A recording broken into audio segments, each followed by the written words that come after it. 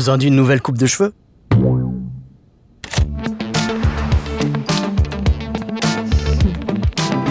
Le nouveau local.ch, réservé en rendez-vous en un clic.